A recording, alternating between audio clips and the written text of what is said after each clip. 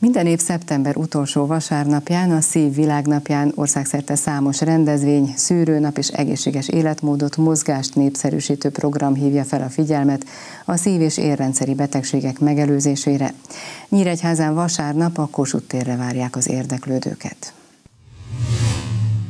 Orvosi tanácsadással, szűrésekkel készülnek a Szív Világnapjára a megyeszékhelyen. A megelőzés kevésbé költséges és sokkal eredményesebb az egészség megőrzésében, amikor csak teheti a szakma, erre hívja fel a lakosság figyelmét a gyógyító munkában is.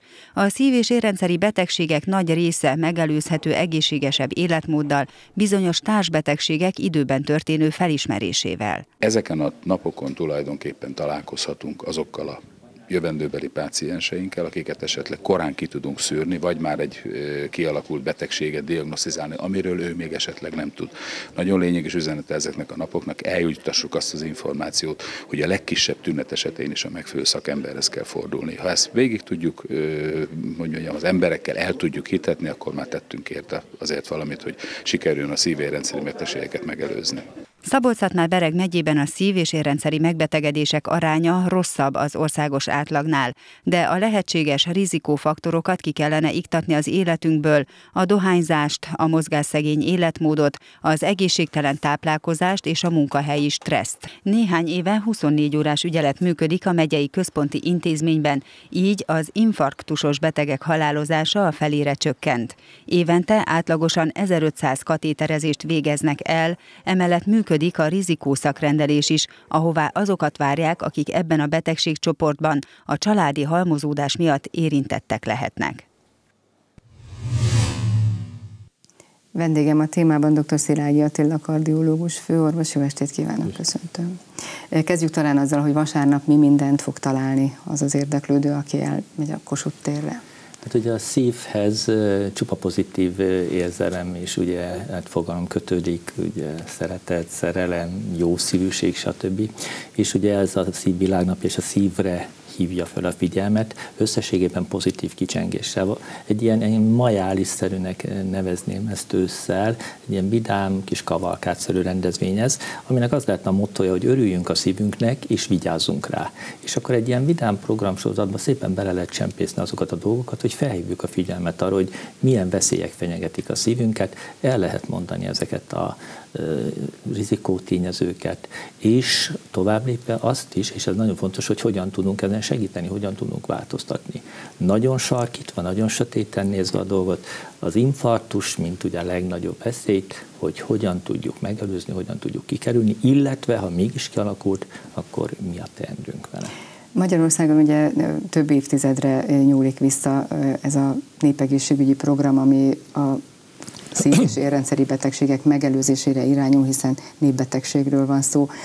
Ezek az elmúlt évek, évtizedek látszanak-e már az emberek egészségtudatosságában? Akár egy ilyen rendezvény kapcsán le tudják-e mérni az érdeklődés növekedésében ennek a munkának a hatékonyságát, hát vagy az ebben is le tudjuk, de talán azért nem ez a legobjektívebb paraméter, inkább az eredményekben, de a mindennapokban is. Tehát a, egyértelműen azt mondhatjuk, hogy azért kezd bejönni ennek a hosszú munkának a gyümölcse, kifejezetten nőtt az emberek érdeklődése az ilyen jellegű kérdések, konkrétan akár a rizikótényezők iránt is.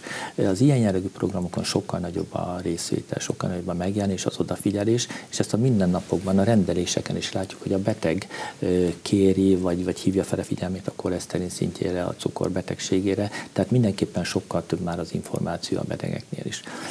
Természetesen óriási tartalékok vannak még ebben, hiszen úgy vagyunk ez egy picit, de szerencsére jóval ennyi formában, mint a dohányzás. Minden dohányos tudja, hogy az rossz, és mégsem szokik le róla. Na most itt azért nem ez a helyzet, tehát ugye könnyebb lemondani egy, egy füstölt csülökről, mert tudom, hogy az nem jó, mint mondjuk esetenként a dohányzást abba hagyni. De mindenképpen nagyon szép az előrelépés, és ez az eredményekben is megjelenik.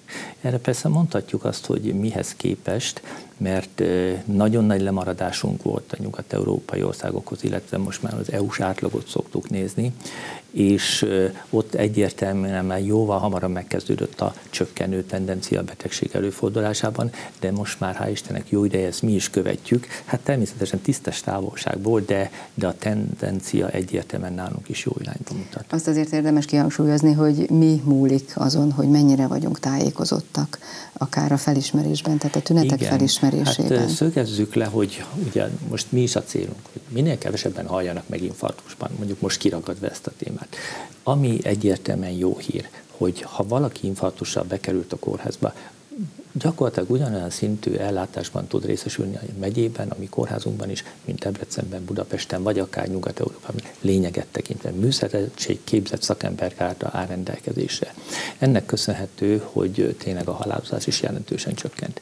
A másik oldal, hogy igazán akkor lehet csökkenteni az infarktusos halálozást, ha kevesebb lesz maga az infarktus. Na itt jön a megelőzésnek a szerepe, illetve a kettő között, amire most ugye a kérdés irányult, hogyha valaki érez egy olyan jellegű problémát, ami eddig nem volt. És ha már ő ezt tudja, hogy az infarktusnak a gyanúját veti föl, akkor ő hívja azt az orvost, hívja a mentőt minél hamarabb, mert itt viszont tényleg, hogy mondani szokták, az idő szívizom. Ha az infarktus minél hosszabban kerül illetve nem kerül megoldásra, tehát a elzáródott koszorén nem kerül megnyitása, annál több szívizomzat fog elhalni. És van egy ilyen fogalom, most ez az úgynevezett tanakodási idő, amíg a beteg a tünetek észlelésétől az első orvos ellátásáig történő idő Magyarországon átlagosan három óra, amiben benne van a 10 perces, meg benne van a sok órás is, és nyugat-európai országokban ez 70 perc körül. És ez a két óra esetenként tényleg rengeteg szívizomzatot is jelentett. Ezt Itt lehet csökkenteni az Ezt lehetne csökkenteni, ha tudja az mhm. illető, hogy igen, ezek infarktusnak a tünetei lehetnek, mert biztos, hogy az, de majd azt eldönti az illetékes, és ezért célszerű azonnal segítséget hívni. Fontos tehát illetve a szűrővizsgálatok. Ugyanakkor a magyar egészségügyben nagyon fontos a gazdasági tényező, a gazdaságossági tényező. Hol van az az optimális költség, illetve ráfordítás egyáltalán? Kik azok és milyen gyakorisággal járjanak szűrővizsgálatokra? Nagyon nehéz megmondani, de pontosan ennek a segítését szolgálja az úgynevezett rizikóambulancia. Nyilvánvaló, hogy akiknél semmilyen kockázati tényező nem áll fenn, és ő teljesen egészséges, fölösleges őt az egészségügyi hálózatba akár egy terheléses vizsgálat vagy komolyabb vizsgálatokra beirányítani, de az, hogy egy alapvizsgálaton legyen, az semmikor sem indokolatlan. Az úgynevezett rizikóambulanciánknak pontosan ez a funkciója, hogy azoknál, akiknél már valamilyen ok miatt magasabb a rizikó, a kockázata az infarktus szempontjából, beleértve azt, hogy a szülők között fiatalkor infarktus volt, vagy például ugye cukorbeteg, magas vérnyomása van. Tehát jelenjenek meg még akkor is, ha nincs szívpanaszuk, és ott majd az ott dolgozó kollégák eldöntik, hogy mekkora ez a rizikó, milyen mértékű kivizsgálás szükséges, hogy az ő státuszát pontosan föl tudják mérni. Mekkora hangsúlyt kap akár a megelőzésben, akár a betegség kezelésében a mentális egészség szűrése és Nagyon jó kezelése? a kérdés.